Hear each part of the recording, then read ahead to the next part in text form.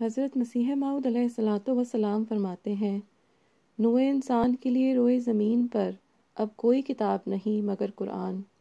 और तमाम आदमजादों के लिए अब कोई रसूल और शफ़ी नहीं मगर मोहम्मद मुस्तफ़ा सल्लल्लाहु अलैहि वसल्लम।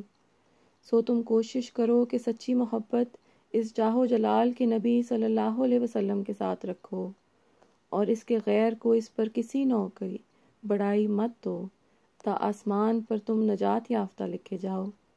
और याद रखो कि निजात वो चीज़ नहीं जो मरने के बाद ज़ाहिर होगी, बल्कि हकीकी निजात वो है कि इसी दुनिया में अपनी रोशनी दिखलाती है।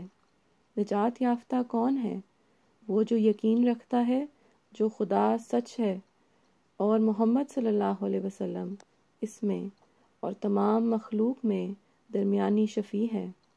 और आसमान के नीचे ना इसके हम मरतबा कोई और रसूल है, और ना कुरान के हर मरतबा कोई और किताब है। और किसी के लिए खुदा ने ना चाहा कि वो हमेशा ज़िंदा रहे, मगर ये बरगजीदा नबी हमेशा के लिए ज़िंदा है।